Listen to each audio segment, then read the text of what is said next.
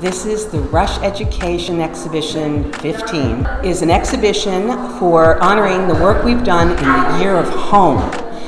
It has examples of work from all of our programs, including our core programs Rush Kids, Rush Teens, Rush Little Kids, Rush Portfolio Course, and it has samples of work from all of our school partnerships.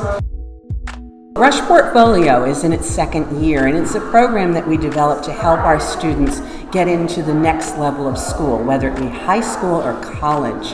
And the students are working on projects that they would have at a college level.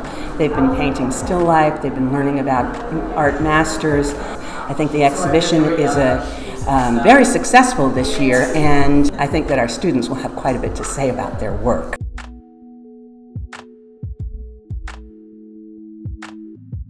The principal at MS226, and I'm also a Rush team mom. The students did a wonderful job in working with the artists and creating representations of home, what that means for them, how they're acclimating to different um, experiences in the home.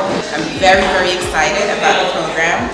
Um, I feel blessed to be to have the program in both parts of my life, my professional and my personal life. So kudos to all of the Rush um, team students and all of the Rush team members who are just amazing in building um, this project. Rush has given me many opportunities in art to work with new materials and new artists and um, contemporary artworks. I've learned a lot of art history also. I'm in Rush Portfolio and they've helped me develop my portfolio for college. I intend to pursue art in the future Every time we have an exhibition, it just shows, it shows how much we can build off of what we did in the past and let's get better from there. Rush's definitely made a good impact on my life as far as my artwork goes and as far as where I am now and I'm just thankful that they gave me the opportunity to be a teaching artist as well. And through being a teaching artist, I've learned other things that help develop me into a better person.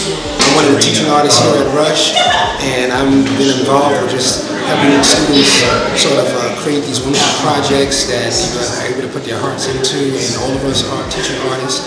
We always contribute a certain idea or concept, and we just help them through the process. So a lot of the ideas come from the students themselves.